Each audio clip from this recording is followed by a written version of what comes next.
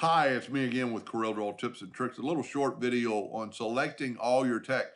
This is a paragraph text. This is artistic text. A couple of reasons you would would want to select all the text. I do a lot of drawing in the house on this laptop, and then I take it out to my shop. If my Corel version out there or my win, basically all the fonts are in your Windows.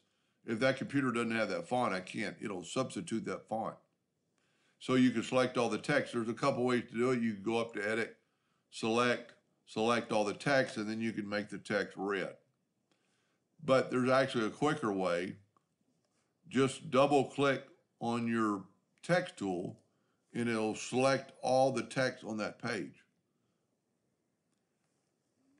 You know, it's it's a really I mean, that way you can change the colors, you can do whatever you want, you can go back and move, you know, move the text around and you know, a lot of times the tech you can't.